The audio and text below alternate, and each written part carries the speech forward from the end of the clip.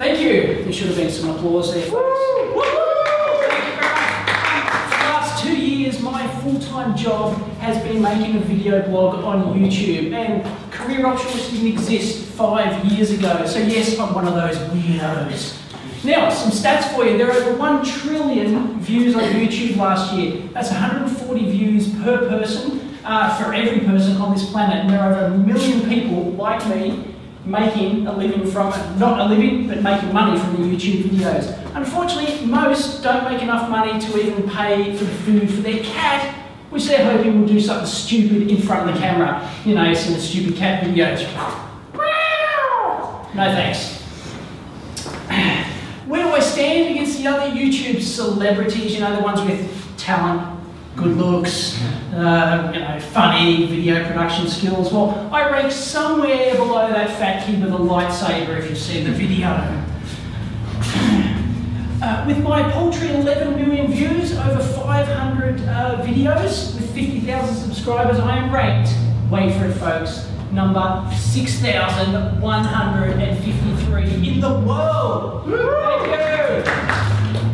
Here's a photo of me at my old engineering job designing that just got shit canned six months later. Uh, but now I make uh, niche engineering videos for an audience who actually appreciate it every day. Big difference. How do I do it? With these bloody annoying ads. You've seen them, right? There are uh, sidebar ads, pop-up ads, overlay ads, campaign ads, you name it. Ah, I lost it. Folks. Next slide. um, uh, all I know, some ads I get paid per view, others I get paid per click. All I know is that every month the Google drives by one of those Google Street View vans and tosses a load of cash onto my front lawn. It is beautiful. That's all I care about. Unfortunately, I'm not allowed to encourage you to click on my ads. Otherwise, they'll shut me down and my wife will be pissed. My little boy will starve, and worst of all, I'll have to get a real job for a living. No thanks, I don't want to go back. Google earned $50 billion a year.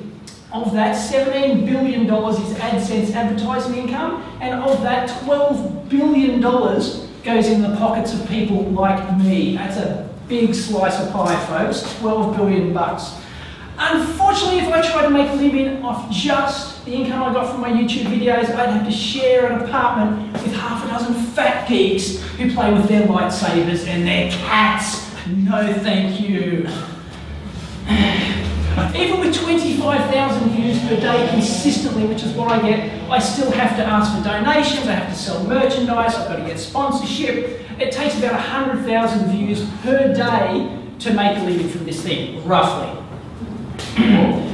and with some of the advantages, you get to be your own boss. It's fantastic. You can work any 12 hours a day you like. Unbelievable. But seriously, I got a little two-year-old boy, and I've been with him every day since he was born. And that is awesome. Trust me. Great lifestyle. Here he is. Isn't he cute? We entered him in the Bonds Baby Contest along with 50,000 other kids.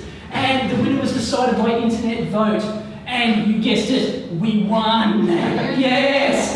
No, we didn't cheat. He's just got 50,000 more fans than your average baby. Now, being a uh, YouTube celebrity can lead to all sorts of things, TV opportunities, media, travel, all sorts of stuff. Fortunately, you won't see me on TV anytime soon because I've got a head for radio and a voice for cartoons. and I'll make a living. Some of the downsides, I worked my ass off for two years making hundreds of videos in my two metre by two metre garage in 40 degree heat on the weekends. If you don't keep producing videos, they stop watching just like your favourite TV show at the end of the season. It's not good.